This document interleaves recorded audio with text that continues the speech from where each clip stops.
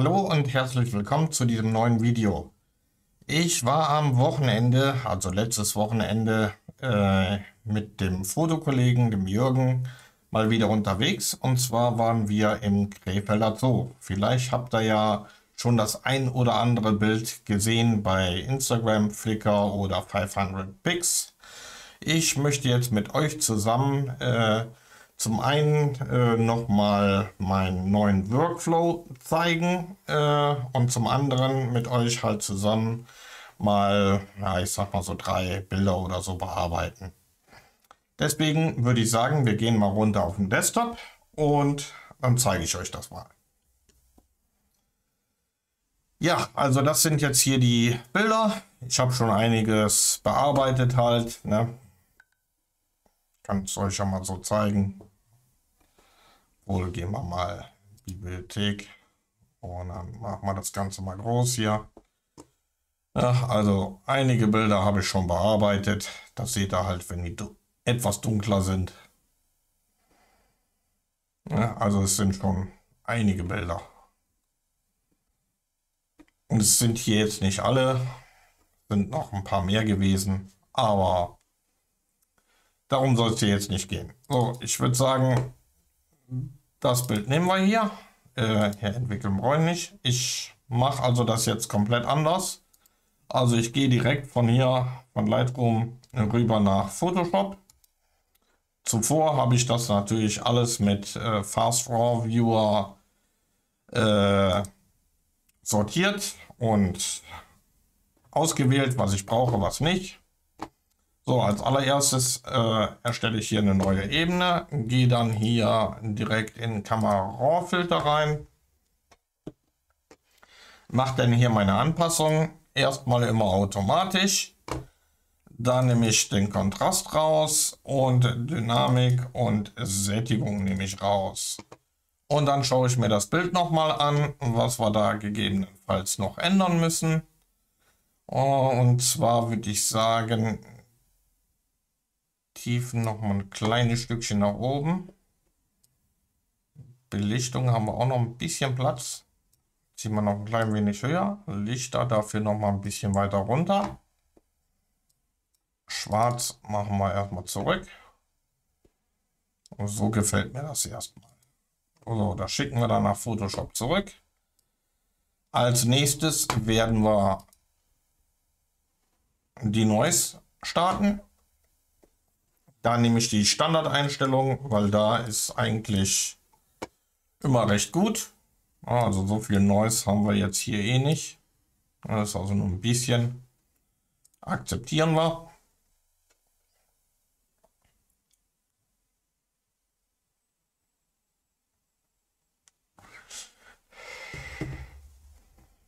So, dann noch eine neue Ebene. Dann gehen wir nach Sharpen AI.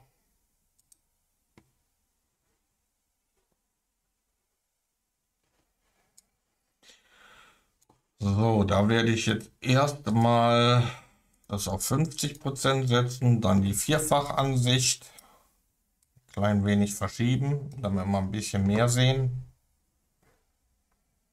Ja, also Standard ist auf jeden Fall viel zu viel. Das ist auch zu viel. Ich würde schon fast sagen, ja, Out of Focus nehmen wir. So, dann machen wir mal ganzer Bildschirm und maskieren mal. Gucken, ob der alles erfasst oder ob wir noch nacharbeiten müssen. Dauert jetzt ein Momentchen. So hat er. Jetzt dürfte gleich das hier auftauchen. Hat er auch. Da müssen wir noch mal bearbeiten. Da müssen wir hinzufügen. Nehmen wir mal einen relativ großen Pinsel. Ja, das ist eigentlich von einem anderen Vogel, der dahinter sitzt. Ja, das brauchen wir eigentlich nicht. Nein, das war falsch. Nehmen wir hier auch wieder raus. Weil den brauchen wir hier nicht. Ein bisschen drüber gehen. So. Jetzt hinzufügen.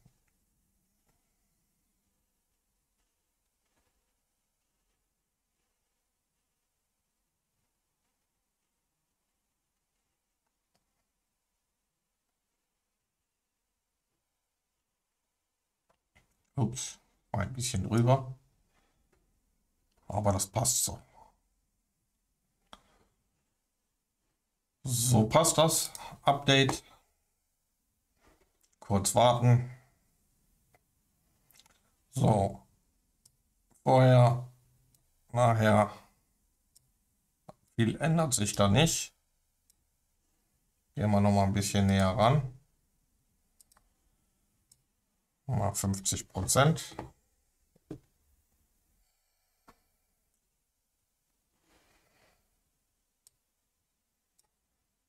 Ja, ist nur minimal. Ja, aber ich würde sagen, also das machen wir hier natürlich nochmal an. Oh, das ist dann viel zu viel. Das sieht dann schon gar nicht mehr schön aus. Gehen wir mal Motion Blur normal. Das ist auch viel zu viel.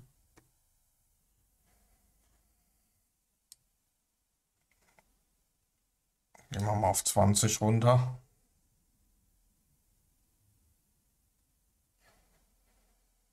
Das ist auch viel zu viel. Dann schauen wir uns mal Ton Soft an. Ja, das sieht schon besser aus.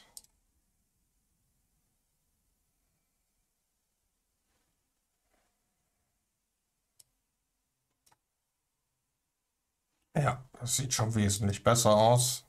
Machen wir mal ein ganzes Bild.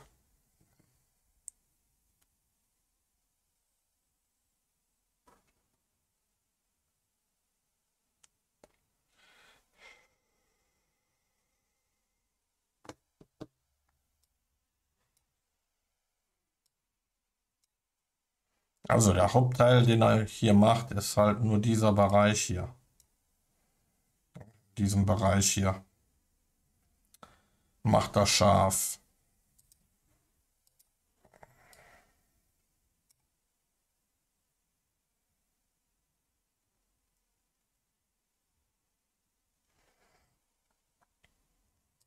Machen wir nochmal Motion Blur.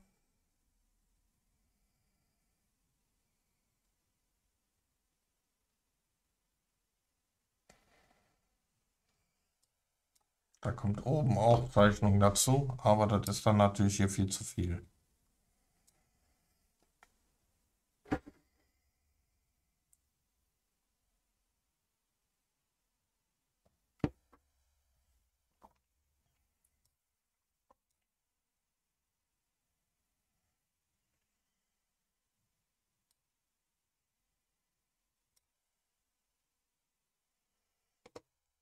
Ja, so können wir es übernehmen. Zwar ein bisschen viel Farbe kommt dadurch da rein, aber das werden wir dann jetzt gleich äh, nochmal in Photoshop begutachten.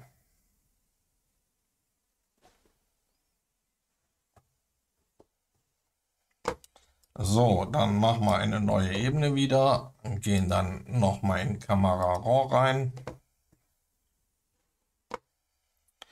So, äh, machen mal Motiv auswählen subtrahieren mit Pinsel.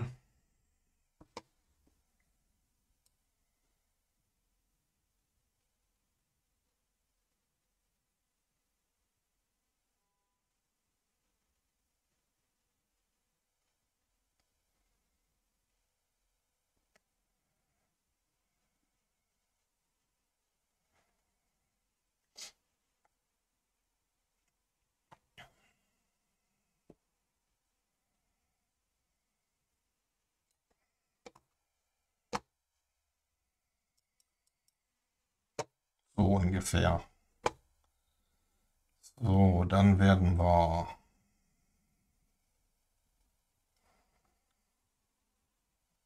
ein bisschen die Tiefen noch anheben und die Lichter noch mal runterziehen. So ungefähr. Ein bisschen weiß dazu und schwarz nochmal schön. Ja, das ist schon zu viel, das saufen wir dann schon ab. Ja, das müssen wir schon so lassen. Okay. Gut. Äh, dann vielleicht mal Himmel auswählen. Mal schauen, was er da auswählt. Der findet überhaupt keinen Himmel. Gut. Dann sind wir da fertig. Dann gehen wir in den Farbmischer.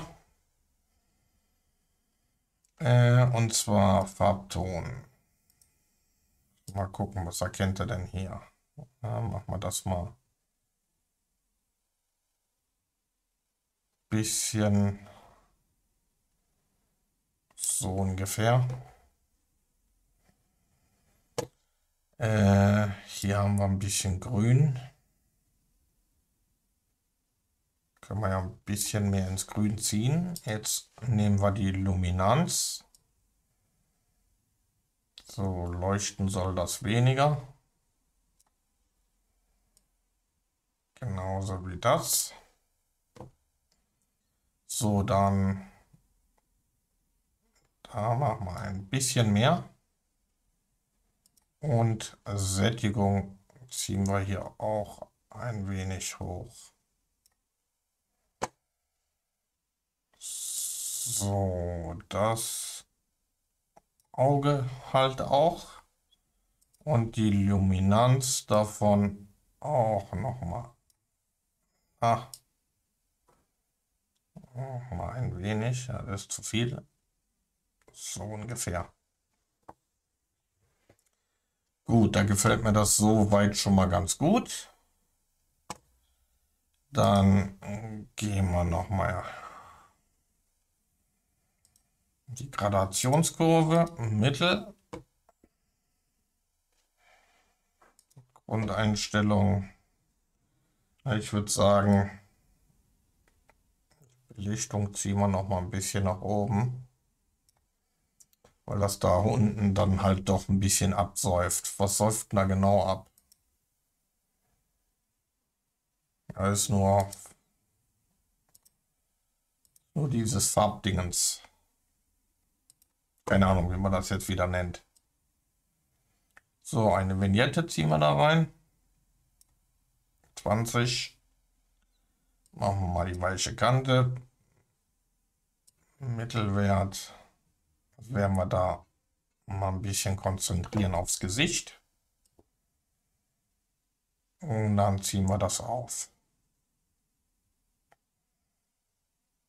Ich würde sagen so 35 damit das noch mal ein bisschen hervorsticht. Ja, äh, so gefällt mir das eigentlich ganz gut.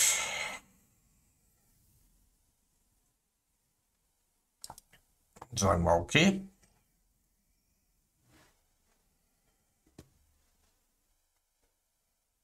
Ja, ich würde sagen, so können wir das fast lassen.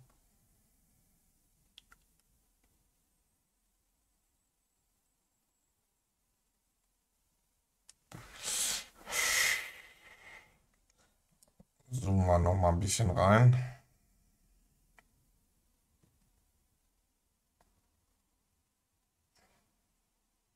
Es ist ja fast wie Farbrauschen, sieht das aus.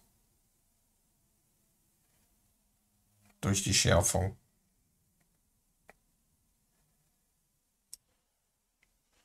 Gehen noch mal Filter, Kamera RAW.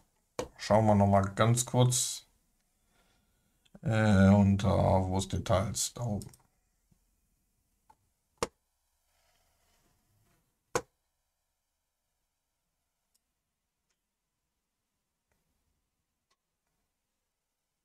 Ne, da ist aber nichts. Da ist kein Farbrauschen.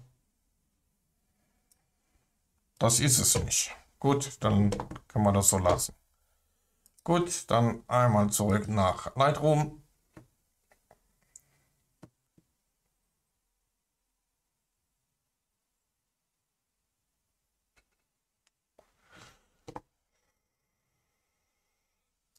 So, mhm. das Ganze können wir dann jetzt exportieren.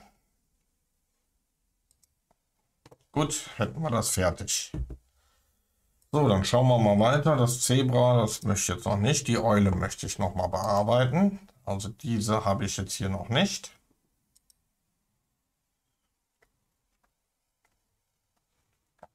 So, ich habe versucht, im Zoo halt äh, so drauf äh, zu achten, äh, also dass ich da halt äh, keine Zäune und sowas äh, mit reinnehme oder halt irgendwas, was darauf Hinweise gibt, äh, dass das im Zoo ist. Aber immer kann man es natürlich nicht vermeiden. Deswegen schauen wir jetzt nochmal hier in dem Bild, sieht man natürlich einen Zaun. Ja, also wie ihr seht, hier hinten ist natürlich ein Zaun erkennbar. Ja, das ist natürlich nicht so schön. Aber wie gesagt, verhindern kann ich es leider nicht immer oder konnte ich es nicht immer. Wir versuchen da jetzt mal das Beste draus zu machen. So, erstmal wieder äh, Automatik stellen, dann halt Kontrast raus und Dynamik raus und Sättigung raus. Ansonsten Belichtung ziehen wir mal ein bisschen nach oben. Schwarz nehmen wir mal raus. Okay. Lassen wir erstmal so. Hab ich okay gedrückt? Ne, jetzt. So, dann als nächstes das übliche, die Noise.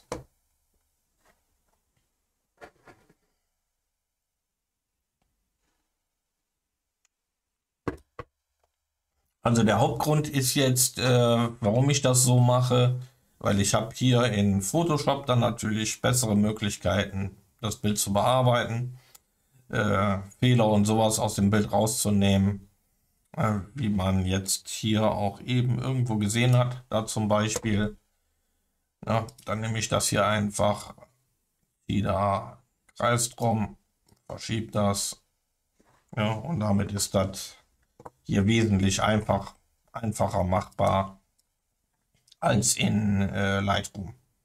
Also kann man den Dreck und sowas schön entfernen. So, jetzt gehen wir nach Charpen AI. Und halt der weitere Vorteil ist halt äh, Lightroom, äh, wenn ich das irgendwo hinschicke nach Sharpen oder die Noise oder sowas, da erstellt er jedes Mal eine neue Datei. Ja, und das fällt jetzt so natürlich weg. Dann machen wir mal so, dass wir da alles im Bild haben, auch wenn er da am Schlafen ist. Also Standard sieht schon mal ziemlich gut aus. Motion Blur würde noch gehen, aber wir schauen uns mal Standard genauer an. Dann lassen wir erstmal 100%. Schauen wir mal hier noch was rauszieht. Das ist schon ziemlich weiß alles. Gut, äh, dann mal wieder komplett und dann maskieren, damit er nicht wieder alles scharf macht.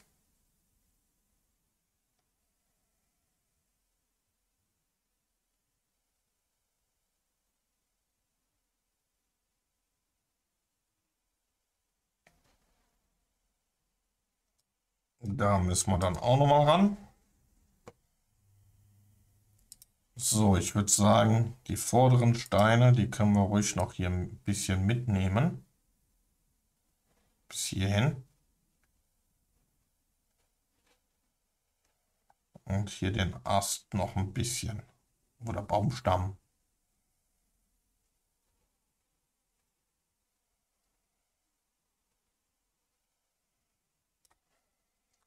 So, bis dahin kann er dort noch alles schön mitnehmen.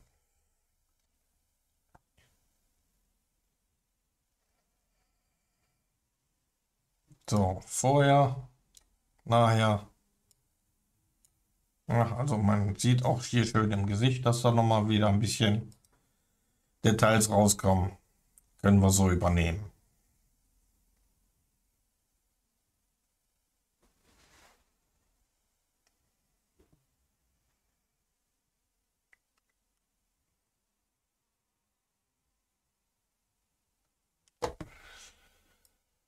So, dann nochmal ein Kamera RAW.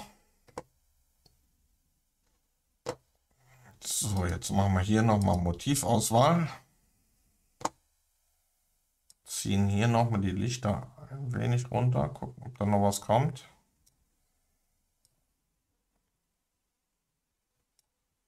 Ach. Und weiß ein bisschen hoch.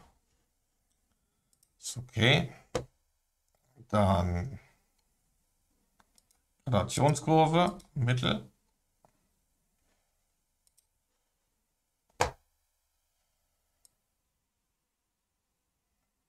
Klein wenig Dunst entfernen noch dazu. So.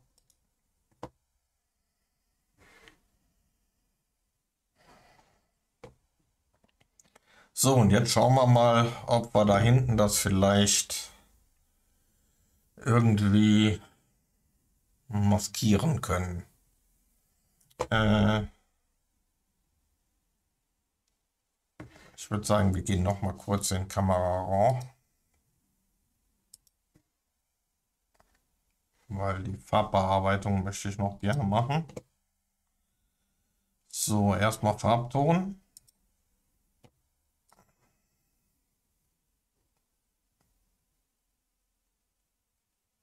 Klein bisschen mehr. So, hier hinten ziehen wir das ein bisschen raus. Dann Luminanz. Hier auch ein bisschen raus. Dann nimmt er das auch mit.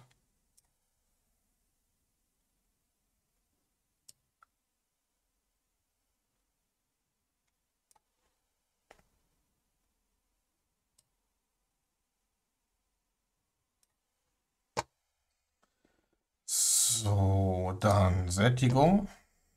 Ja, weiß ist natürlich sowieso nichts machbar. Äh, schauen wir mal, ob wir da was rauskriegen. Da zu viel darf ich dann natürlich nicht machen.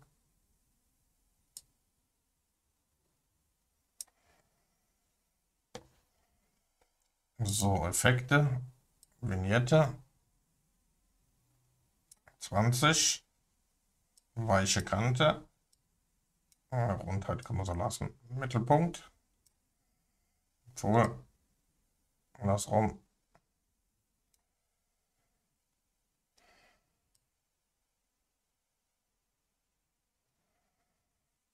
So, auf 40 setzen wir das. Ach, Mist, ich vergesse immer die Hälfte. Eine Sache jetzt nochmal. Hier die Dynamik ein bisschen pushen auf 15. So, ja, jetzt ist natürlich die Frage, man könnte jetzt hier das natürlich äh, versuchen rauszunehmen, obwohl wir machen das anders. Äh, und machen das jetzt etwas anders. Nein, nein, nein auszoomen hier. So weit wollte ich natürlich nicht.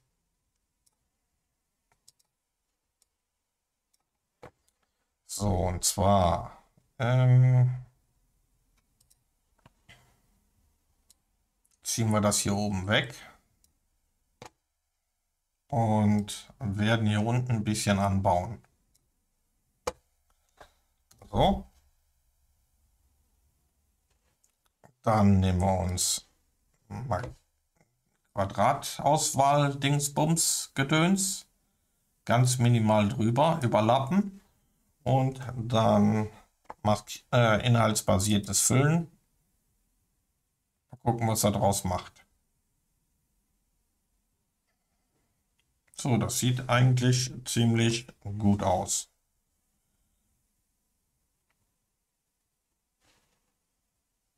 So haben wir den Zaun da oben weg. Schauen wir hier mal rein. Klar sieht man das ein bisschen. Ja, aber ich denke mal, so haben wir den Zaun wunderbar entfernt. Ja, und haben da trotzdem noch, ja okay, hier ist auch noch natürlich noch ein bisschen Zaun. Sehe ich gerade. Äh, da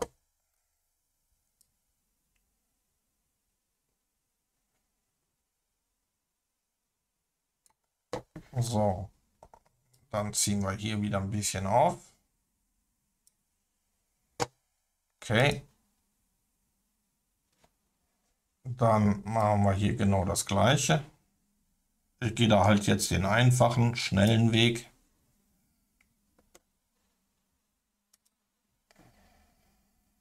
Mal gucken, was er da macht.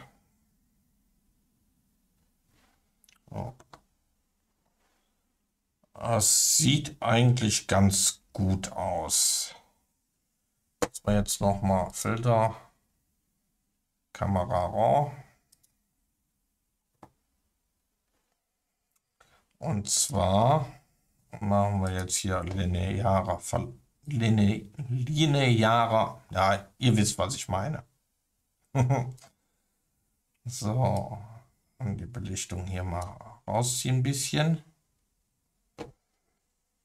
So, was habe ich, wie viel habe ich da jetzt gemacht? Machen wir machen wir 0,40 genau. Gut, nächster. Machen wir auf der anderen Seite genauso.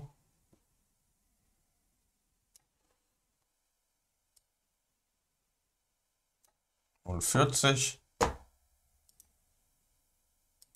Noch ein.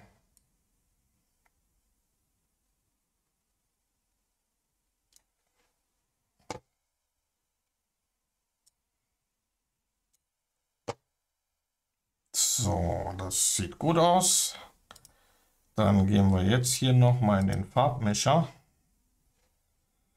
Und zwar äh, Sättigung, ja. Natürlich jetzt blöde. Ja, damit ziehen wir das natürlich da auch mit raus.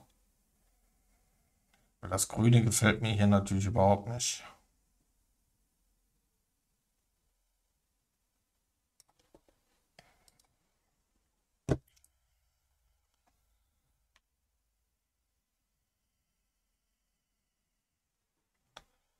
Das gefällt mir hier nämlich nicht wirklich.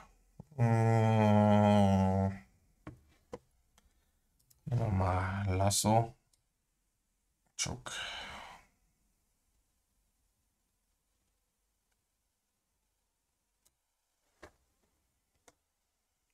Gucken, wir das so einfach rausbekommen. Das sieht auf jeden Fall besser aus als vorher.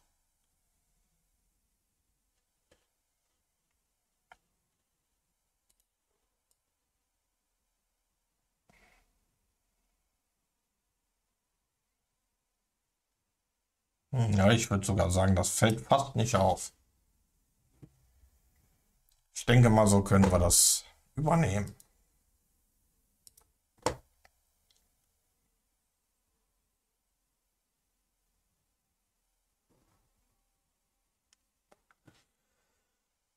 Ja, so haben wir den Zoo mehr oder weniger rausgenommen. So, wie lange sind wir jetzt dran? Auch schon relativ lang. Also ich würde sagen, wir belassen es bei den zwei Bildern. Weil das wird sonst halt zu lang, das Video. Und das gucken die Leute sich dann natürlich nicht an. Also würde ich sagen, abonnieren, liken, teilen, kommentieren. Daumen rauf, Daumen runter, wie ihr möchtet.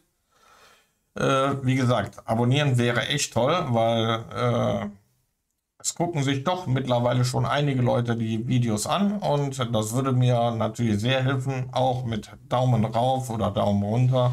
Also von daher würde ich mich sehr freuen, wenn ihr das machen würdet. Okay, das war's dann. Bis zum nächsten Mal. Bye bye und bis bald.